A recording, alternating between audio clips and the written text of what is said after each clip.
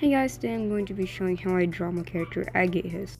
Agate is a very interesting character of mine. He is very different from all of my other.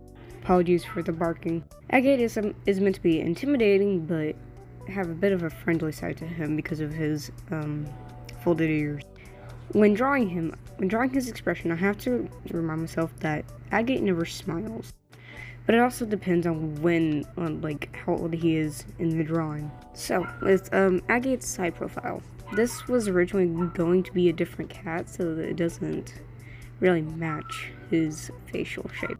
I like to imagine Agate with like very a slopey, like a sloped down face and just like really matted shaggy fur Fun fact about Agate, um, I have to, I always forget to draw this, but Agate always has his head uh, leaned down to make himself look less intimidating because his clanmates always say he's a beast for how big he is. Um, everybody except for Don Clan um, is scared of him because, like, you know, he's just a very big cat. I do have an official height for him, though I don't know, like, like how to explain it. It's just like, he, he's um, bigger than the average Maine Coon cat.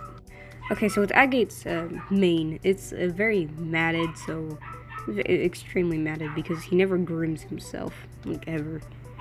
So he, um, so when doing that, I will put these like, like loops in his fur. I don't know how to explain it, but like that, yeah.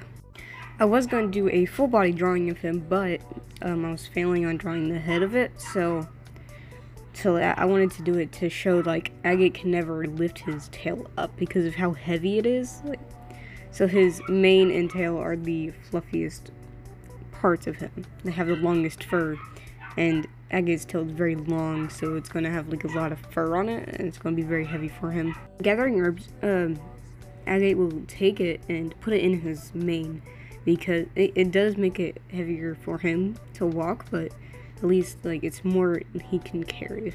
I think he has like anxiety and stuff, so he'll take juniper berries. Juniper berries will calm cat down, like in in the books. So he he'll ga- he'll gather a lot of those so he can take them and um, have a few for himself, and then to calm down easier, and then he'll like use the rest for any other cat that will need it. When drawing Agate's uh, cheek fur, I like I like to make it very long and like very messy and spiky. Um, but it's still like it, it's still like it's like a huge clump of fur. I didn't do it. I didn't color him, uh, because I just wanted to show you how like how like I do the uh, the line art. It is clearly not scripted. I like to draw bags under Agate's eyes because I don't imagine he gets a lot of sleep. Like I feel like he's just always tired and exhausted. I don't know why I put those lines on the muzzle there. I just kind of like them. I like to imagine his uh, brother Mysticlish would have been the medicine cat if he didn't die. Well, he, he was a warrior when he died, but mm.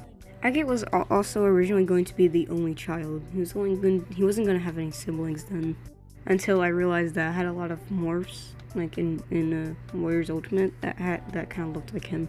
Also, funny fact that Agate was originally going to have a special connection to worms. I'm just trying to imagine like who like how his story would have been if I didn't change it. I'm glad I did. Alright, that's uh, the end of the video. Bye.